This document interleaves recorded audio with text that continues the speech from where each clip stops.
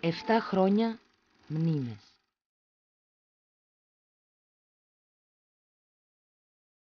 Όλες μαζεμένες έτρεξαν σήμερα στην κατάμεστη εκκλησία του μετοχίου Κίκου, όπου συγγενείς και φίλοι παρέστησαν στο μνημόσυνο του Άντι Χατζικοστή.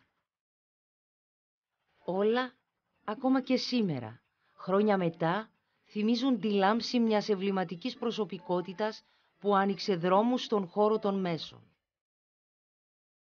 Ο Άντις Χατζικοστής, που τόσο άνανδρα του υφάρπασαν τη ζωή στα 42 του χρόνια, αποτέλεσε πηγή έμπνευσης και δημιουργίας.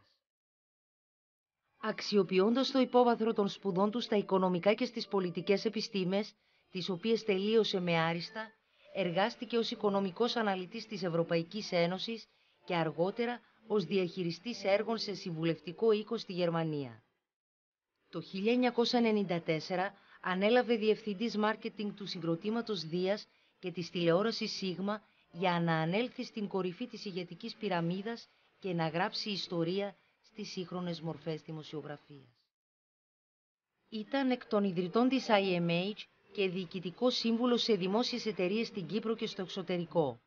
Διετέλεσε μέλος του European Publishers Association και διοικητικό σύμβουλος και πρεσβευτής των διεθνών τηλεοπτικών βραβείων Emmy. Τα όσα άφησε πίσω του φαντάζουν αποσπάσματα ενός ημιτελούς οράματος που το συγκρότημα, οι συνεργάτες και οι φίλοι του θα κυνηγάμε χρόνια.